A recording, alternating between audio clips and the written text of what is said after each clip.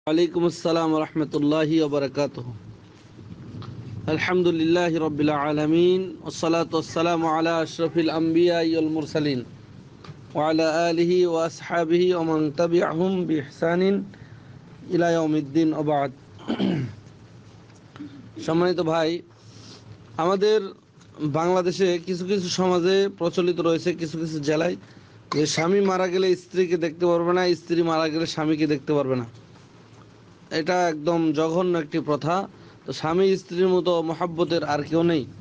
কেননা রসুল্লাহ সাল্লাহ আলী সাল্লামের যুগে রসুল সাল্লাহ আলী সাল্লাম থেকে এবং সাহাবাই কারাম থেকে বিভিন্ন রেওয়াতে বিভিন্নভাবে এসেছে যে রসুল সাল্লাহ আলী সাল্লাম আম্মাজান আইসা তালাহর সাথে, আনহার সাথে ওয়াদা করেছিলেন এবং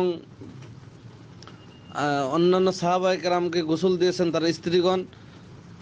এ মর্মে একটি হাদিস রয়েছে রসুল্লাহ সাল্লাহ আলী সাল্লাম আম্মাজান আইসা রাদি আল্লাহ তালা আনহাকে বল- বলেছিলেন, ইবনু মাজা এক হাজার চারশো পঁয়ষট্টি নম্বর হাদিস রসুল্লাহ সাল্লাহ আলী সাল্লাম আম্মাজান আইসা রাদি আল্লাহ আনহাকে বলেছিলেন, যদি আমার পূর্বে তুমি মারা যাও, তাহলে আমি তোমাকে গোসল দেব, কাফন পরাবো, জানাজা পড়াবো ও দাফন করব। তাহলে রসুল সাল্লাহ আলী সাল্লাম আম্মাজান আইসা রাদি আল্লাহ তালা আনহাকে এ মর্মে প্রতিশ্রুতি দিয়েছিলেন যে আমার পূর্বে তুমি মারা গেলে তাহলে আমি তোমাকে গোসল দেব, কাফন পড়াবো দাফন করব এবং জানাজা পড়াতে চেয়েছিলেন আল্লাহ রসুল সাল্লাহ আলি সাল্লাম বাই হাকিতে আসছে তিন নম্বর খণ্ডে তিনশো সাতানব্বই পৃষ্ঠা দারাকুতনির এক হাজার আটশো তেত্রিশ নম্বর হাদিস, সনদ হাসান।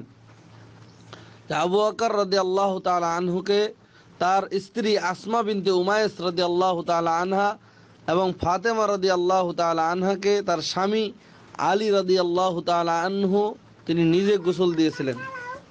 আলী রদি আল্লাহ তালা আনহু তিনি নিজে ফাতেমা রদি আল্লাহ তালা আনহাকে গোসল দিয়েছিলেন। তাহলে গোসল যখন দিয়েছিলেন, অবশ্যই দেখেছিলেন। তো দেখা যাবে না, এটা জাহেলি প্রথা। আর যদি স্বামী স্ত্রীকে গোসল না দিতে পারে, যদি অক্ষম হয় এবং স্ত্রী স্বামীকে মরার পরে গোসল না দিতে পারে, তাহলে পুরুষ পুরুষকে গোসল করাবে, নারী নারীকে গোসল করাবে। আর এই জন্য তাদের দুষ্ত্রুটি যদি কোনো ক্ষত থাকে, তাহলে গোপন রাখতে হবে। আর পূর্ণ শালীনতার সাথে গোসল করাতে হবে। সুন্নতি তর- তরিকা মোতাবেক গোসল করতে হবে। রসুল সাল্লাহ আলী সাল্লাম এরশাদ করেন হাদিসটির উল্লেখ রয়েছে, বাইহাকি তিন নম্বর খণ্ডের তিনশো পঁচানব্বই পৃষ্ঠা। হাদিসটির সনদ সহি। যে ব্যক্তি কোনো মুসলিম ভাইয়ের, কোনো মুসলিম মাইয়াতকে গোসল করালো, কোনো মুসলমানকে গোসল করালো, যে মারা গেছে তাকে গোসল করালো অতবর ওই ব্যক্তির কোনো গোপনীয়তা সমূহ থাকলে তা রক্ষা করল, তা মানুষের কাছে বলল না।